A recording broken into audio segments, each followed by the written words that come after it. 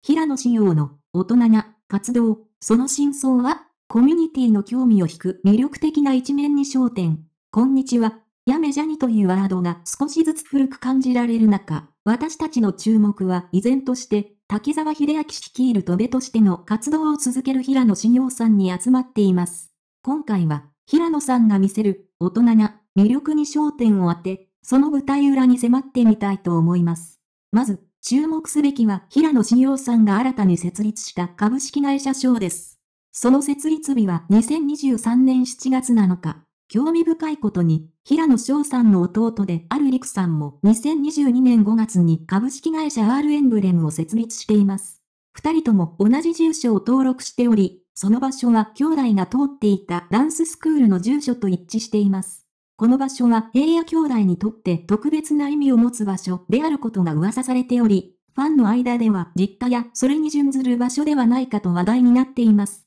愛知県名古屋市西区にあるこの邸宅は、豪華な外観とともに、滝が流れ紫にライトアップされるなど、まさに要塞のような存在です。平野兄弟だけでなく、神宮寺勇太さんも同様に個人事務所を設立し、表札が掲げられています。この変化が起こったのは、平野さんがジャニーズ事務所を退所し、新たな事務所に合流したタイミングと重なっています。この流れには、平野さんの家族への感謝や思いが色濃く反映されているようです。そして気になるのが株式会社賞の事業内容です。当本から確認できる29項目の事業内容は、なんとムービーの業務内容とほぼ一致しています。これは一般的な節税対策の個人事務所とは異なり、本格的な芸能事務所を視野に入れている可能性を示唆しています。将来的には、平野翔さん自身で事務所を経営する展望も考えられます。所属タレントについてはまだ公表されていませんが、週刊女性の記事によれば、神宮寺勇太さんや岸優太さんが所属する可能性が浮上しています。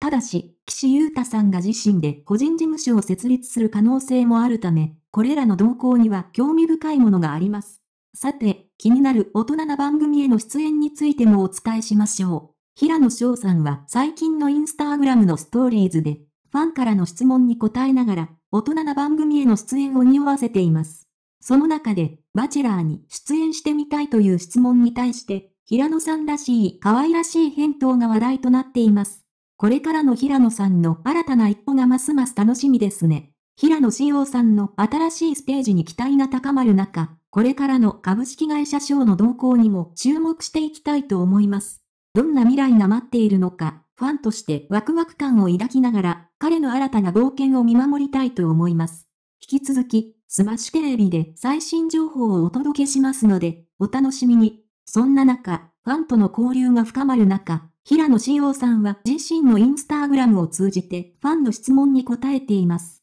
最近のストーリーズでは、大人な番組への出演に関する質問に答え、その内容が話題となっています。彼の天然で可愛らしい返答がファンの心を掴んでいるようです。さて、そんな平野志陽さんが大人な番組への出演についての質問に対してどのような返答をしているのでしょうか？それは2002年に全米で放送が開始された恋愛リアリティ番組、ザ・バチェラーに関するものでした。この番組はハンサムで社会的地位を確立している一人の独身男性または独身女性が多くの候補者から選ばれる様子を描いたものであり、平野志陽さんもどちらかに出演してみたいとの意向が明らかになりました。この新しい展開に対してファンやコミュニティはどのような反応を示すのでしょうか？平野志陽さんが進化し、新たな挑戦に取り組んでいる姿勢は？ファンにとっては新しい一面を発見する喜びにつながることでしょう。総じて、平野志陽さんの大人な活動は彼の個人事務所の設立や新しい番組への出演によって新しい局面を迎えています。これからの動向がますます注目される中、ファンたちは彼の新たな一面にワクワクと期待を寄せています。これからも彼の挑戦に期待しながら、彼の活動をサポートしていきたいですね。